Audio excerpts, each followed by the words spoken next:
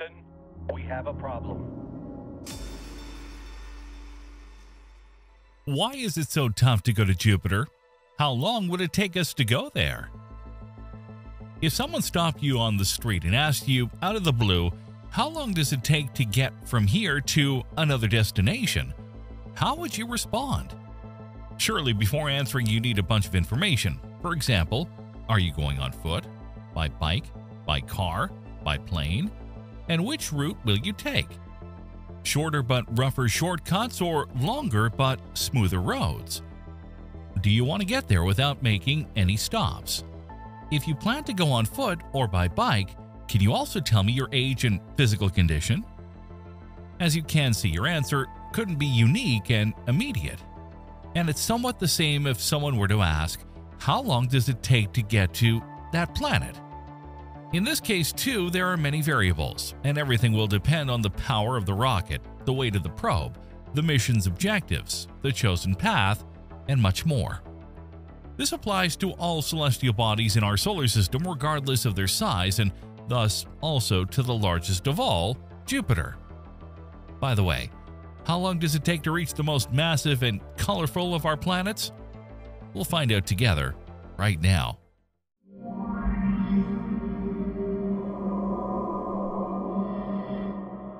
Traveling from one point to another on Earth's surface seems fairly easy. Despite any obstacles, you just follow a direction and eventually get there. Calculating travel time becomes quite simple. Just divide the distance by the average speed. It might seem even easier in space, where there are no obstacles, rivers to cross, mountains to bypass. You just go straight. Unfortunately, we're about to see that things aren't that simple. Space is only seemingly an endless prairie where you can run freely in any direction and at any speed.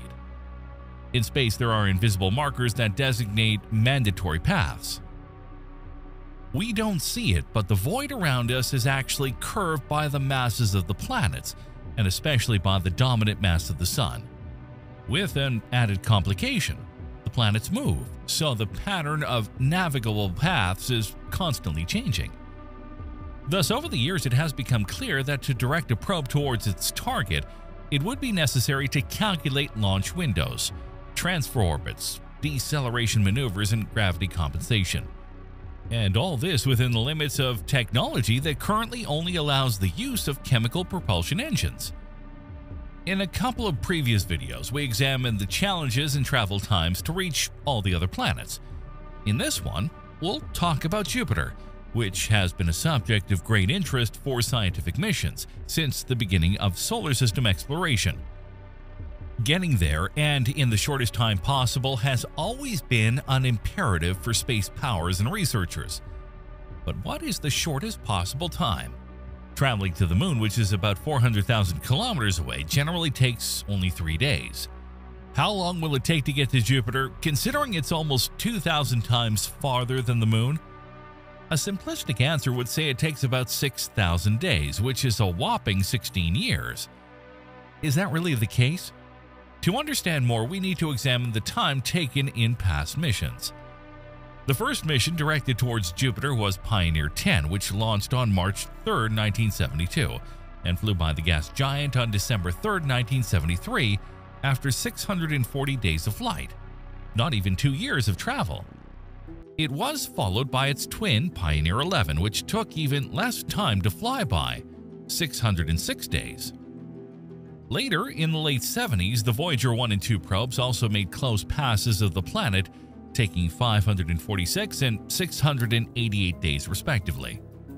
The Galileo probe, however, was the first to attempt to enter orbit, and it took a whopping 2,242 days.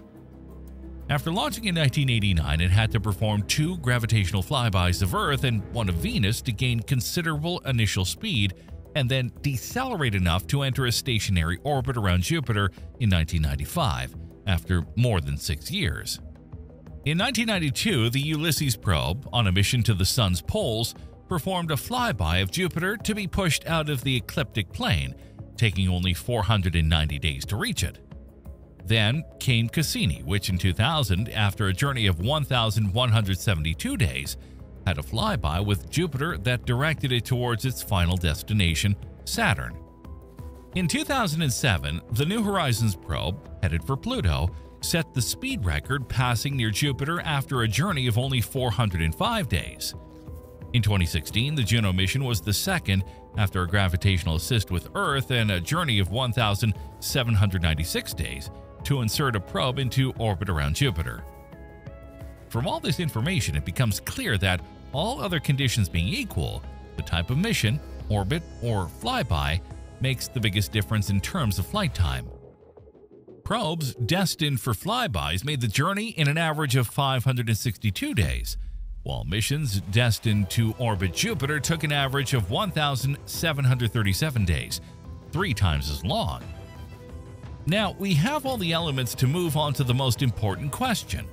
With which optimal trajectories, orbits, can we reach Jupiter?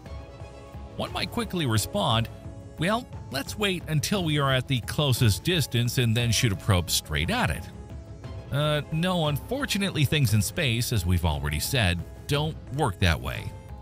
It would be like shooting an arrow at a moving target from a moving vehicle. During the arrow's flight time, the target would move and we would miss it by a lot. To hit the target, the archer should aim at the point where the target will be when the arrow arrives, not where it is when the arrow is shot. Before moving on, don't forget to subscribe to our channel if you haven't already. Make sure to hit the notification bell so you don't miss out on our daily videos. Okay, but interplanetary space is a bit different from a shooting range. In space, the distances involved are enormously larger, and spacecraft, like planets, move primarily under the influence of the sun's gravity. So, there's no escaping it.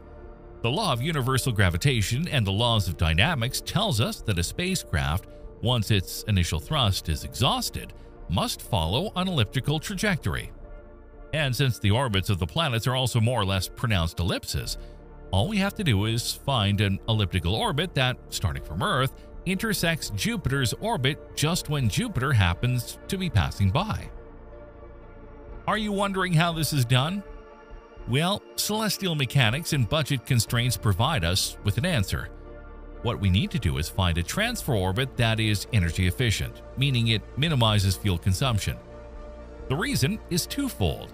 First, the fuel itself costs money, and second, carrying more fuel significantly increases the overall mass of the rocket to be launched into orbit, further increasing costs and decreasing launch speed.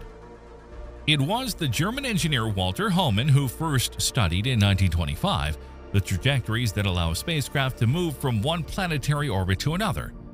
Based on these studies, it was determined that the simplest transfer orbits are ellipses, tangent to both the departure and arrival orbits. In the case of Jupiter, starting from low Earth orbit, the vehicle is given an initial acceleration to increase its speed from 29.79 kilometers per second which is both Earth's and the vehicle's orbital speed, to 38.58 kilometers per second. This is the speed needed to place the probe on an elliptical orbit whose major axis is equal to the sum of the radii of Earth's and Jupiter's orbits, which we assume to be circular for simplicity. Naturally, as we move away from the Sun, the probe will tend to slow down, and as we approach Jupiter, we risk being late for the encounter, at this point, the engine will need to be fired again to accelerate and then begin orbiting Jupiter. But can we determine the travel time from this configuration? Absolutely. Due to the geometric property of the Hohmann orbit we just mentioned, the length of the major axis of the ellipse is equal to the sum of the radii of Earth's and Jupiter's orbits. We can easily deduce that this length is 6.2 astronomical units. From this, using Kepler's third law, we can easily calculate that to travel the elliptical arc from Earth to Jupiter, which is 8.51 astronomical units long, equivalent to 1.276 billion kilometers, the probe will take 998 days or 2 years and 9 months. Could we make it in less than 998 days? Certainly. The Pioneer, Voyager, Ulysses, and New Horizons probes, free from the need to slow down to enter orbit, took just over half the time. And to drastically shorten the flight time for orbital missions, we could simply forego inertial flight and push the accelerator to the max. But as we've already said, This would require an enormous amount of fuel, and that additional mass would in turn require more propellant to be transported into orbit and accelerated. This state of affairs unfortunately will persist until we abandon chemical propulsion and start using ion or nuclear propulsion. Additionally, it's important to note that we can't arbitrarily increase the speed of a vehicle destined not to fly by a planet but to land on its surface. Spacecraft must arrive slowly enough to perform orbital insertion maneuvers and not simply overshoot their intended destination. And what about human missions? Well, in the end, a journey of just over a year to reach Jupiter might seem almost acceptable for a human crew. But we must consider that so far we've talked about missions carried out by lightweight, automated probes, programmed to maintain flyby speeds without orbital insertion issues, and that they have used several gravitational assists to increase their speed. None of this is applicable to a manned mission, which would represent one of the greatest challenges in space exploration. According to a recent study released by NASA, a human mission landing on one of Jupiter's major moons is expected between 2101 and 2121. But with current technology, a manned mission, including orbital insertion, would take no less than four or five years. The spacecraft would have to be a large ship where people could live for a long time. Consequently, its weight would be enormous, and the amount of fuel needed would be staggering. There's no way this could be achieved without a propulsion method capable of reducing the travel time to just a few months. In short, if NASA truly wants to land astronauts on one of Jupiter's moons by 2121, it must first consider, as it is already doing, the need to find an alternative to the current propulsion method as soon as possible. Chemical propulsion is currently the most widely used technology for space travel.